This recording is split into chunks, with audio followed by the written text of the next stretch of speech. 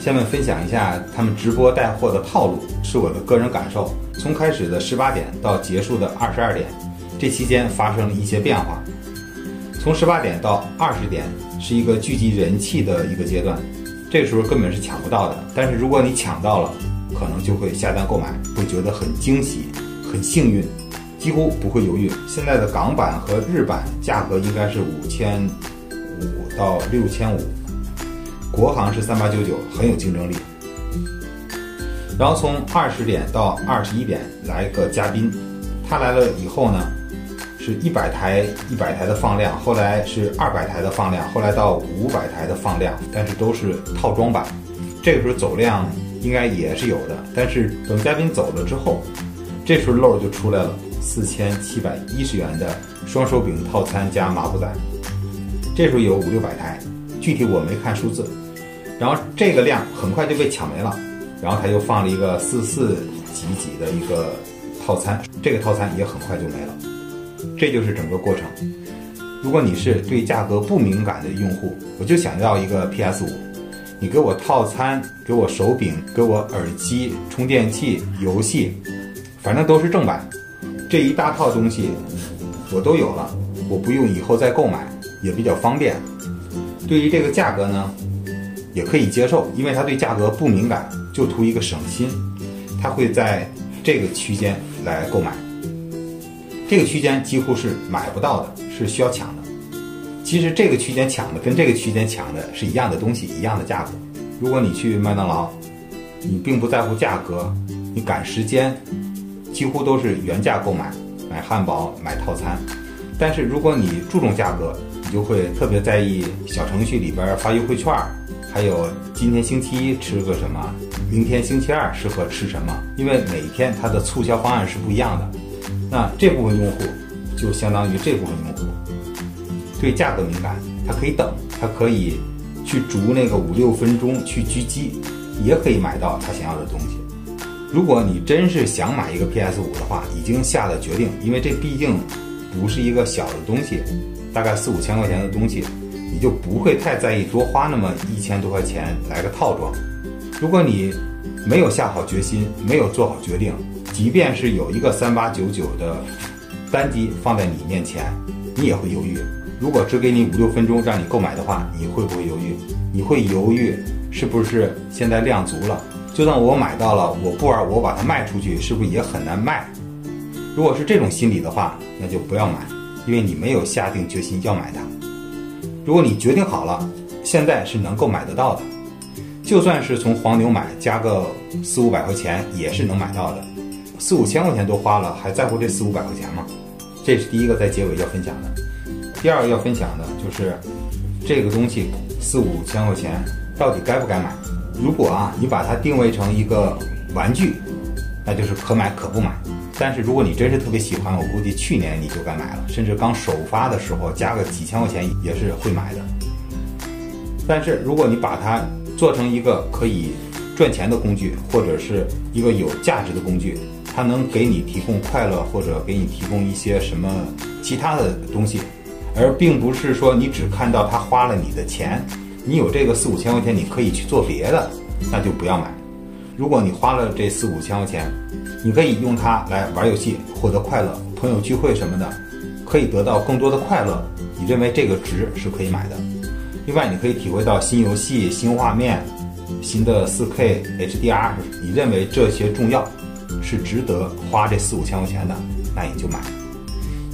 因为我买了 PS 五之后，我会把我的 PS 四 Steam 卖掉，估计也能卖个一千出头的样子。我那是一个最新版本。他们说，如果是九点零的版本，可能还会卖得更贵，可能会卖一千五。我估计我那个一千出头应该是好卖的，才花了三千多块钱。另外，我还会用这个 PS 五做一些视频呐，做一些经验分享什么的，它也会有流量，也会有收益。所以说，这个钱是能回来的。现在我花这个钱买 PS 五，也是我从头条号上的一些收益来买的。所以说这个东西呢，对我来说，它也算是半个赚钱的工具，半个玩游戏的工具。因为说实话，这个 PS 四啊，买了四年了，我几乎没玩几个游戏，通关的游戏也就是个位数。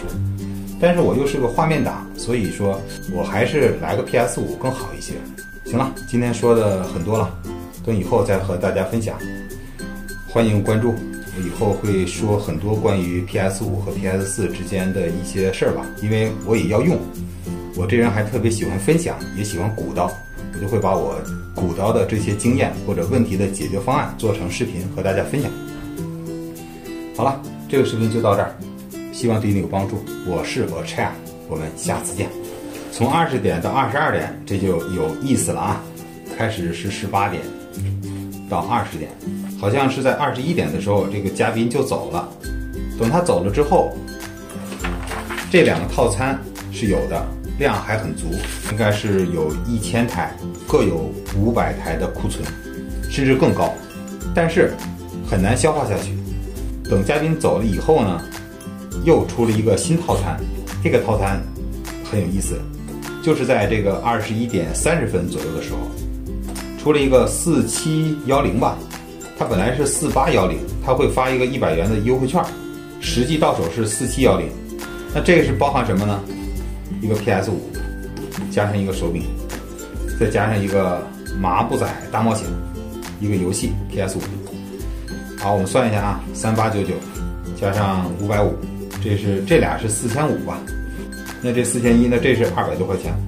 其实这个套餐也是挺好的，我也买了下订单了，但是我并没有付款，我先留着。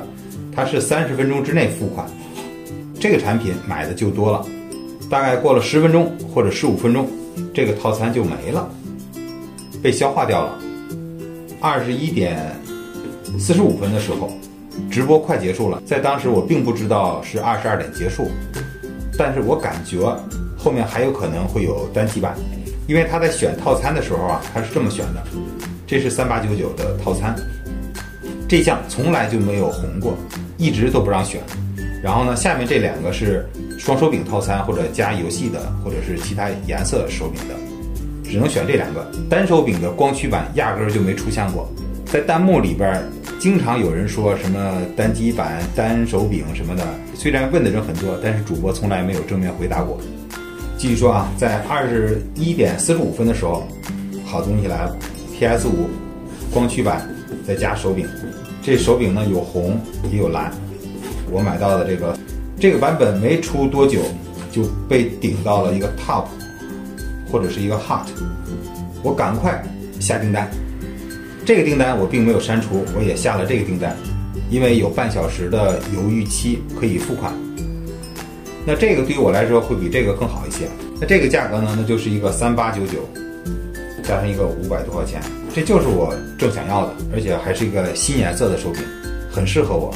这个套餐出现以后。也很快就没了，大概持续了五到十分钟。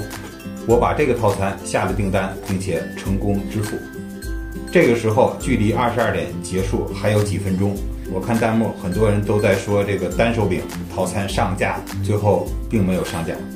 这个套餐已经很实惠了，没有必要特别的追求极致。这个三八九九确实很难，但是也不排除可能会有。我也一直在观望，最后并没有观望到。然后到二十二点的时候，直播就结束了。然后这些套餐就算没有卖完的套餐也全部下架，都不让卖了。因为我看到那些大套餐还是有库存的，我不知道以后会不会还有这种直播。如果有的话，呃，如果你看到了我这个视频，也可以方便你从直播里购买 PS 五。